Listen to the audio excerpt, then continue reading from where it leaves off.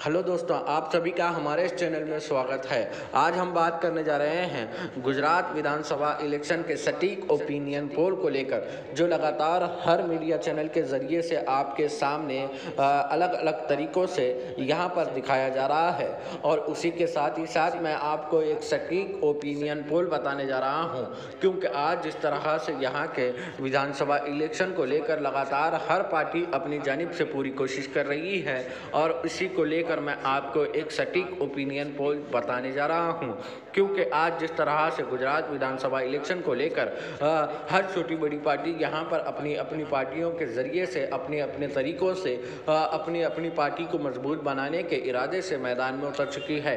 और यहाँ के विधानसभा की बात की जाए तो यहाँ पर कुल एक सौ बयासी सीट आज के विधानसभा की हैं। और इसी को मद्देनज़र रखते हुए हर पार्टी अपनी किस्मत को आजमा रही है। और मैं अगर बात करूँ तो भारतीय जनता पार्टी की लगातार यहाँ पर सत्ताईस सालों से सत्ता बरकरार है। आज उनको टक्कर देने के इरादे से भारतीय जनता पार्टी की सरकार गिराने के लिए यहाँ पर आज आम आदमी पार्टी मैदान में उतर चुकी है। और आम आदमी पार्टी का यह कहना है कि आने वाले समय में यहाँ पर आम आदमी पार्टी की सरकार बनेगी, क्योंकि आम आदमी पार्टी के जो प्रमुख हैं, आम आदमी पार्टी के दो अध्यक्ष हैं के जो अरविंद केजरीवाल हैं वो लगातार भारतीय जनता पार्टी को यहाँ पर ललकार रहे हैं और भारतीय जनता पार्टी को नीचा दिखा रहे हैं और उसी के बदौलत यहाँ पर अब भारतीय जनता पार्टी बैकफुट पर नज़र आ रही है।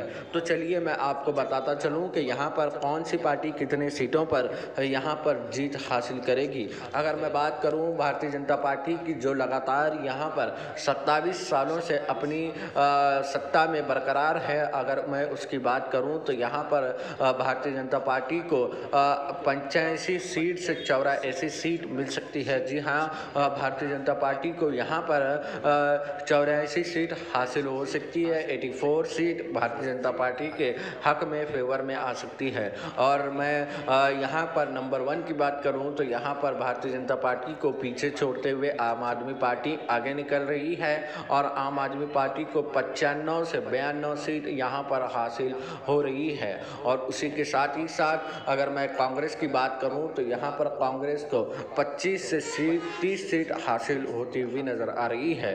कि यहाँ पर अब कांग्रेस बेहद कमज़ोर हो चुकी है। लगातार कांग्रेस की जानब से ये कोशिश की जा रही थी कि इस विधानसभा इलेक्शन में मजबूती के साथ लड़ा जाए, लेकिन लगातार कांग्रेस के ख़राब प्रदर्शन की वजह से ख़राब